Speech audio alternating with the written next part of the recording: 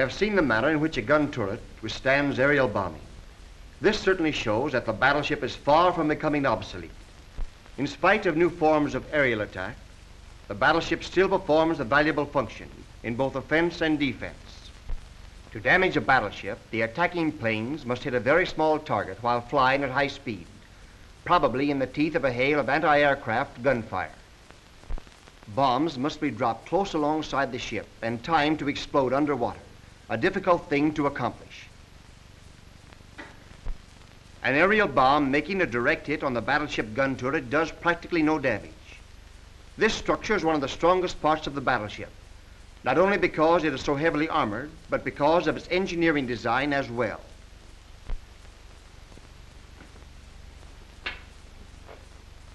The problem of turret design is one of enclosing a given space with the greatest protection and the least weight.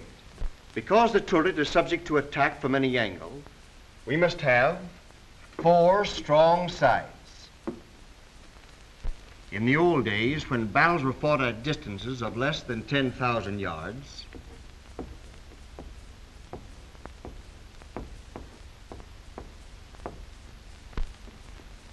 and when there were no airplanes to drop bombs, the sides of a turret alone were enough.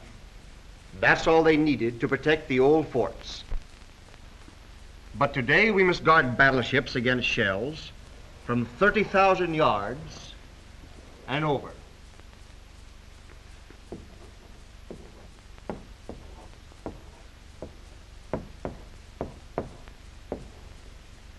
And against enemy airplanes. So we must put a strong top on the turret. We need a cover not only to protect against direct hits, but also to strengthen the entire turret. A box-like structure with only four sides has little strength, but by adding a top and a bottom, we increase its strength as a unit and the strength of the sides as well. A flat top, such as we have here, is not as strong weight for weight as we should like. So we take a tip from the builders in other lines.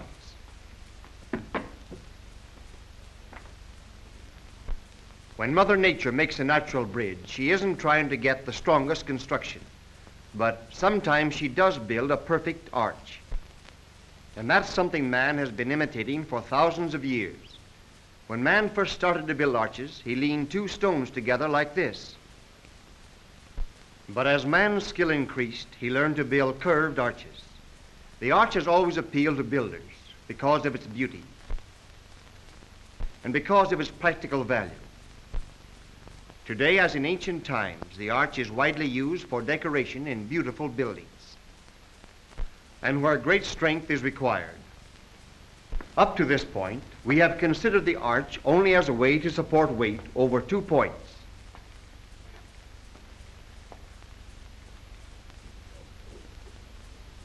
But if we spin an arch like this, we have a special kind of arch, which we call a dome.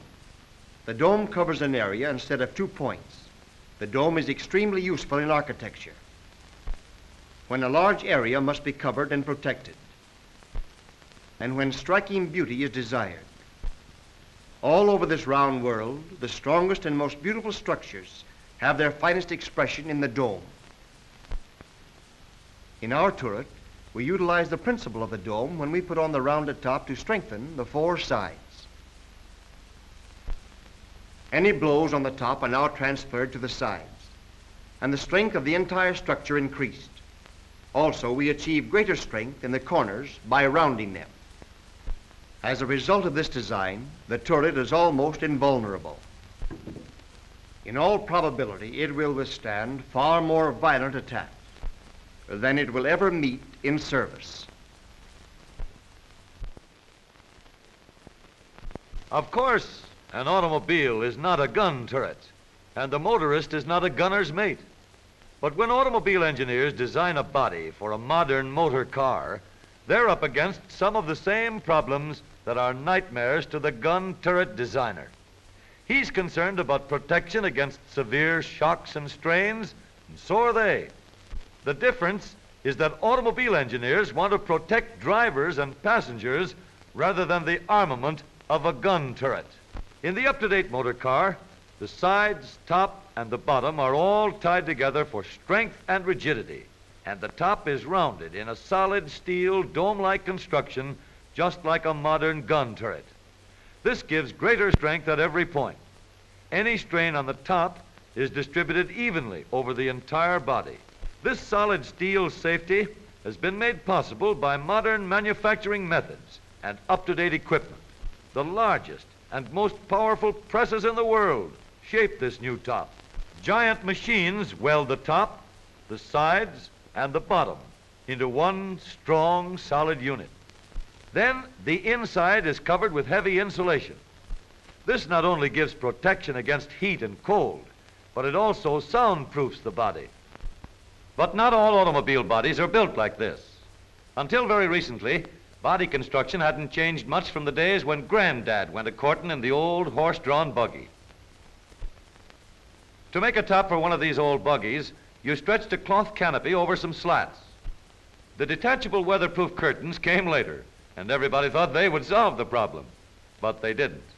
We have come a long way since the days when a buggy was the last word in transportation, but the tops of even modern cars have, until just recently, remained pretty much the same. Roofs were of fabric, supported on slats, or even on wire mesh screens. But now, that is all past history.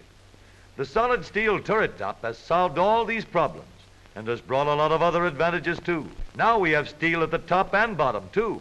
One single seamless unit that provides the greatest beauty, strength, and safety in the turret top body of your new car. Now, let's look at an actual experience that shows how the turret top in your car stands up under a bombardment in peacetime driving. Captain Bob Ward, one of the greatest death-defying stunt drivers ever to sit behind the wheel of an automobile, has such complete confidence in the engineering principles of solid steel construction and dome design that he is about to perform a feat never before accomplished or even attempted by anyone, anywhere. Take it away, Captain.